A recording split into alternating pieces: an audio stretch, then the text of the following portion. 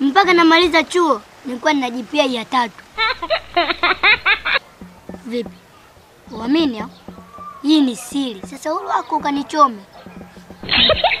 Yaani mimi ninavyokwambia kweli hivi, yaani kama chuo ndo chekechea, nishapita form 6 sijui nini, sasa hivi ndo nipo hivi ya tatu.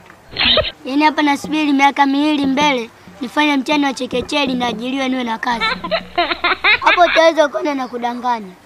Kwanza kule chuo hamna walimu, kuna malecture.